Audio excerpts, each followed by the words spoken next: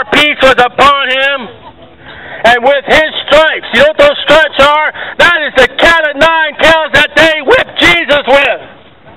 The Bible says that they whipped his back so hard it looked upon like a field that was was dug up by plows by a farmer. And yet, what does Daytona Beach, Florida 2015, after the day anniversary of those stupid towers coming down? He is despised and rejected of men, but ooh, towers! But forget God. But forget those towers. Look at your soul. All those people that died in those towers are in heaven or hell. And they're in heaven, they're saying, Come to us. And they are in hell. Luke 13. Don't come here. Believe on Jesus. Come, preacher. That's the testimony that Jesus told us about a man in hell. He said, Send the preachers to my family. Send them out in the streets. Tell them not to come to this place. And there's one thing we learn about 9 11. We learn about 9 11. Man will die in the hands of religion. Religion wants blood. Jesus shed his blood that you may have life. Religion wants your blood, wants you dead. Yet Jesus died. He shed his blood that you may have life. That is the difference between religion and Jesus Christ. Religion says, give me cash, check, or money, or and Jesus says, give me your soul. Believe on me. And religion says, give, give, give, give. And Jesus said, I gave, gave, gave. Religion says, judge not, lest ye be judged. And the Bible says, come unto me, all ye that are heavy laden. That is the difference between religion and Jesus Christ. And yet, he has despised and rejected a man. Only a few will grab these pieces of paper that will tell you in your own time personally what Jesus Christ. These papers we hold that we will give to you free. He'll give them to you free. We'll explain to you more what you need to do with Jesus. They don't have my name. They don't have my address. They don't have where you can send me $50 or 50 cents. I don't want your money. I want you to believe on the Lord Jesus Christ to be saved. I like that. Saved. There goes my voice. Saved. Almost like a television preacher there. Be saved. But there's one difference. I am bringing you the hope. I am bringing you the Son of God. I am bringing to you God today to be saved. Oh, there's back. And let me show you out of the same book of Isaiah. Isaiah chapter 1. You're a meanie. You're yelling at us. You don't love us. I wouldn't be here if I didn't love you. I wouldn't be here if I didn't I didn't see concern for your soul. If I didn't see where you were going, I wouldn't be here. Where are your popes? Where are your Jehovah Witnesses?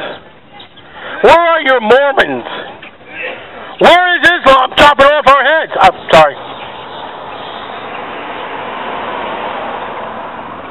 Come now. This is God speaking Isaiah right into you. And God says, Come. I don't know if I can hurt my voice. I know you can all hear. I've had my secret agents walking through, and I know you can be. I know you can hear me. And I am telling you that God says, "Come."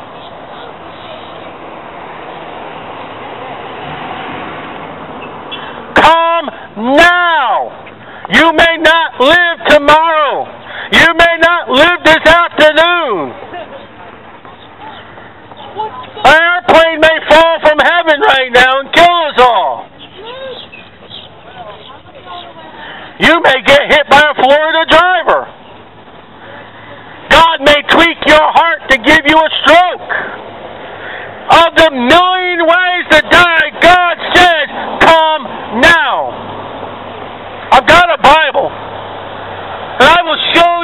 off privately with my family on what the Bible says you need to do. Come now.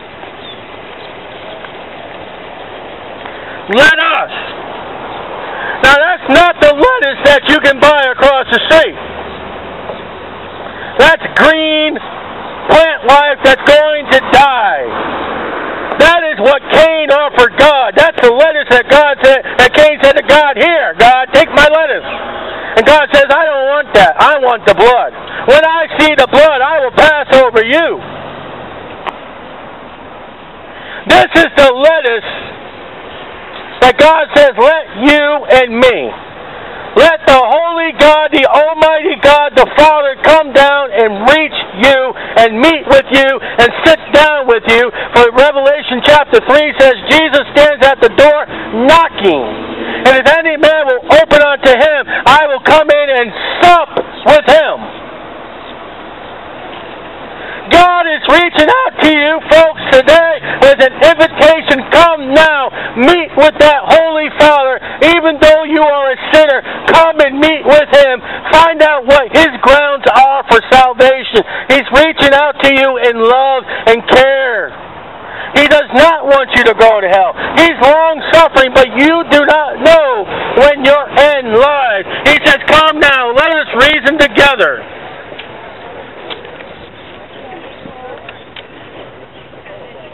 though your sins, there's that sin problem again. Your main trouble is you are a sinner. And I don't know what the sin is in your life, but you've got a sin that may not be my sin, but you've got a sin in your life that is separating you from God. And failure to put that sin under the blood will cast you off into hell. Is it really worth it? Do you really want to go to hell and see the Marlboro Man? Do you really want to enter the gates of hell to the Bud Man? The King of Beers? Instead of the King of Kings, the Lord of Lords? You've got to come with the fact is that the main trouble you've got, the main controversy that God has with you today is you are a sinner. And you can't step into a closet with a priest and get it washed away with cash check or prayers. Imagine 14 Hail Mary full of grapes is going to get you to heaven where Jesus died and suffered. For what if you can pray your way through on twiddly beads? I can make fun of that religion because I was in that religion for 18 years of my life. I was a dedicated in that religion. Only thing I didn't do in that religion, I didn't cite the priest. I wasn't an altar boy, thank God. And you're going to trust them people with your soul? You can't trust them with your children, people. And yet Jesus said, Suffer the little children to come unto me.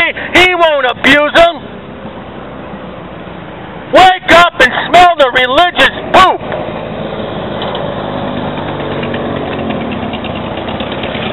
Though your skin, sins shall be as scarlet, they shall be white as snow. Though they be red like crimson, they shall be white as wool. There's only one thing that will cleanse you of your sins,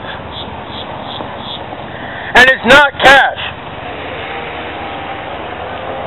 It's not who you are, because we already said you're a sinner. It's nothing you can do. If you can do it, then why did Jesus already suffer and die for you? If you can do it, why is there a gospel? Come on. If you can do it, why does the Bible say, What must I do to be saved? Believe on the Lord Jesus Christ, and thou shalt be saved. Walking little ladies across the street ain't going to get you into heaven. How you doing, bro? Uh, thank you. God bless you. Thank you. God bless you. Believe on the Lord Jesus Christ is the way, the truth, and the life. That is the only access you have to God the Father. anything else, and he's not listening. The door is shut. Satan is listening to you. Satan is deceiving you. Yes, there is a Satan. Look around the world.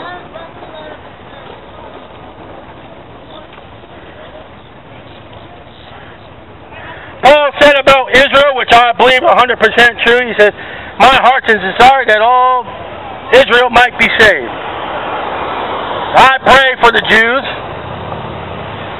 but if I can change that commandment without changing the Bible,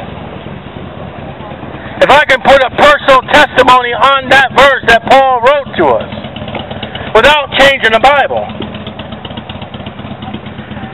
my heart's desire that all you will turn to Jesus Christ as, as your personal Savior. Ain't out here out of hatred. I ain't out here screaming. You gotta hear me. I ain't here because I have to be here. I ain't here to ruin your day. I'm here to with the blessed words and the glorious hope of our great God and Savior Jesus Christ, that you may believe on Him, and that when you close your eyes to death, or the Lord comes back today, that you may be seated with God in heavenly places, to be absent from the body and be present with the Lord. That you will know that God loves you, yes. But God's a holy God. He can't allow a sinner into His presence. And without the blood of Jesus Christ, no matter what you do, no matter what you think, you are still a sinner without the blood of Jesus Christ. If you don't have the payment, you will not go in. That's my heart's desire. I may be loud, but you got to hear me. God has blessed me with a wonderful, loud voice that I am always reminded about because of this type of ministry that He has provided for me. You know, the Bible says where two or three are gathered together in my name, there I am amidst them. There are two or three people gathered in the name of the Lord Jesus Christ. I know there are some saved people out there, there saved people that walk by and they praise the work being done. Listen, Jesus Christ is here. You guys are my church. And I don't even have an offering plate. I just have preaching. You can't say it's not the money. You can't say it's, it's not the repetition, it's not the honor. I'm not. No one's come over here and take our pictures and put us on the front page or anything like that. I am here because I love you and God loves you and He wants you to believe on His Son, the Lord Jesus Christ. God has commanded me. The only way I am here is God has commanded me to go in all the world and preach the gospel. That's the only thing that, forces me to do what I'm doing, but I do it out of love.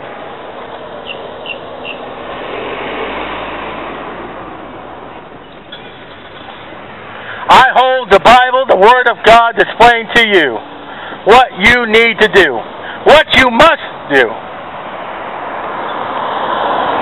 And yet, if you continue to reject, and if God gives you grace and mercy to live another day, and yet you choose to reject,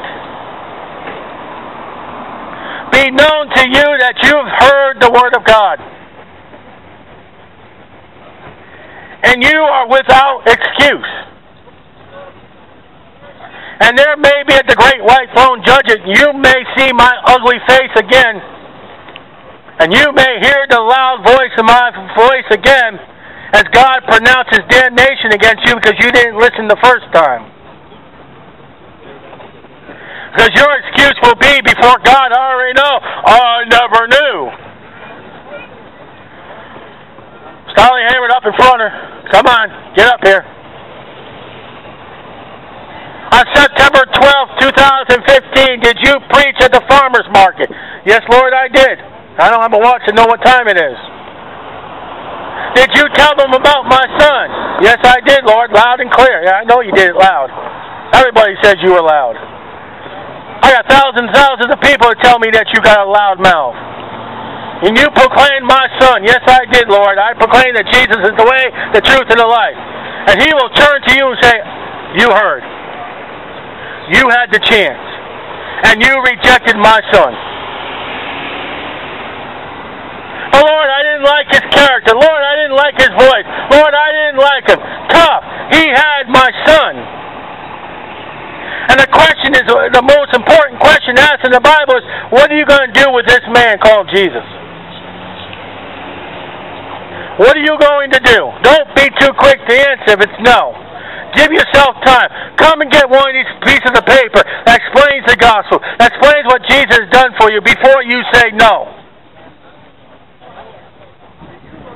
At least come out and try. At least take an effort to get one of these papers and find out later what God expects from you.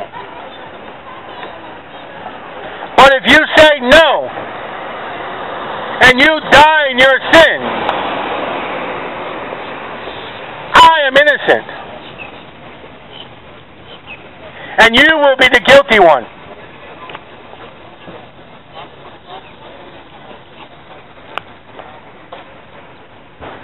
And it's sorry that I look around, I see people passing money and getting fruits and vegetables, and I see that Isaiah 53 says he's despised and rejected of men. How it breaks my heart. Yeah, but that's the same thing they did to Jesus. That's the same thing they did to Jeremiah.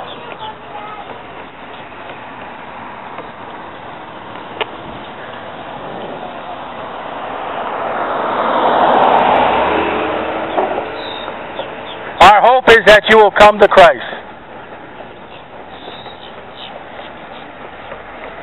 You've heard the words. I try to be out here every week, unable with my job. We try to be out here when we can.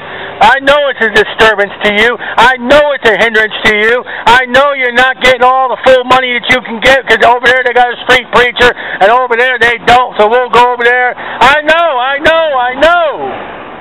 I know Jesus is a hindrance to your life today. I know my big mouth is a hindrance to you today. I know that. But don't let it be a hindrance for all eternity.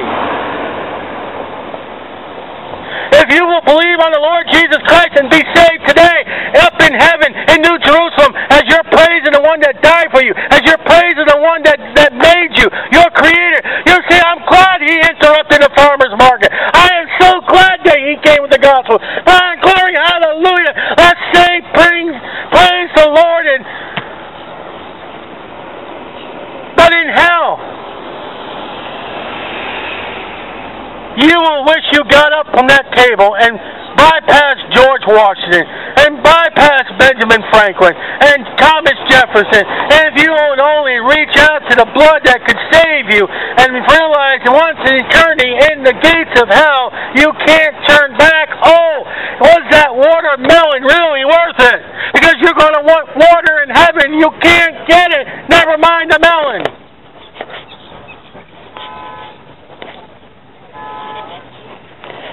I have grace and hope enough to realize that if the Lord carries, you may believe on tomorrow. You may believe on Him next week. You may believe on Him next month, maybe next year. Maybe only a seed was planted today. It's worth it all. Maybe I am watering the plants. Maybe you are out there and you're afraid, and today is your day to be a fruit of righteousness. The Bible says,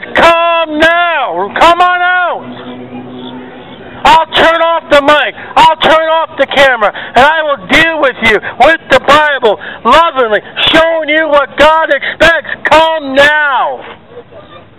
Let us reason together. Though your sins be as scarlet, they shall be white as snow.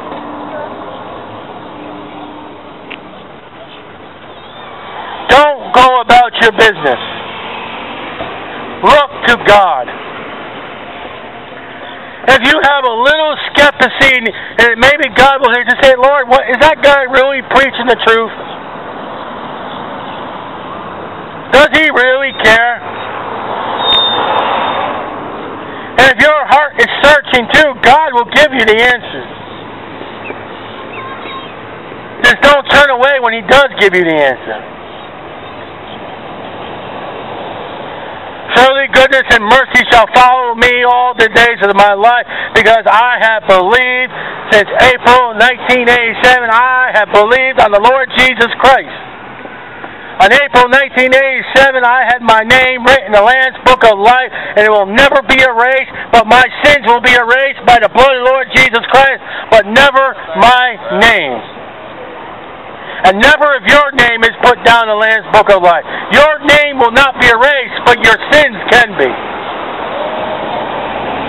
It's all about a sin condition.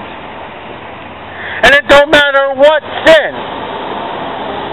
It doesn't matter who has sinned. Is have you been to the precious blood of the Lord Jesus Christ for cleansing? Have you been to the cleansing power? Can God see, say to you, I will pass over him because of the blood of the crucified one?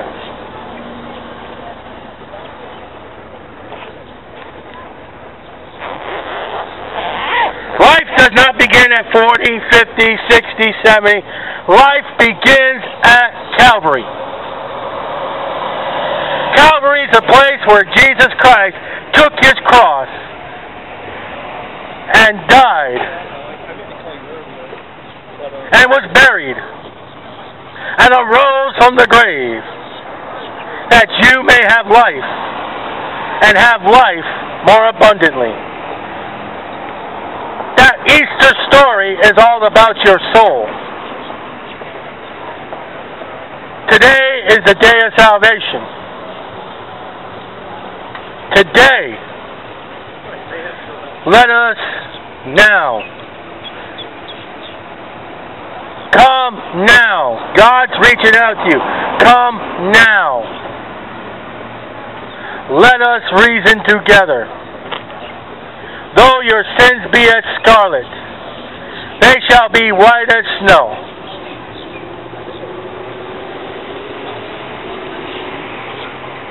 As we close,